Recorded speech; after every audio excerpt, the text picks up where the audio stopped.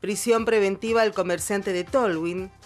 La resolución de la jueza federal de Río Grande apunta contra el comerciante tolhuinense Simón Medina, de 48 años, quien ingresaba a la provincia en su vehículo particular procedente de Buenos Aires, transportando una importante cantidad de prendas de vestir. Ante la requisa por parte del personal de Gendarmería, se detectó que este hombre trasladaba, disimulado, un cargamento ilícito consistente en 6 kilos de marihuana y 2 de cocaína. Medina Quedó detenido desde ese día y la jueza federal finalmente resolvió mantener su prisión preventiva, procesándolo por el delito de contrabando de estupefacientes, una figura sumamente grave en la escala penal de delitos contra el narcotráfico, ya que su detención se llevó adelante en la zona aduanera primaria ingresando al país.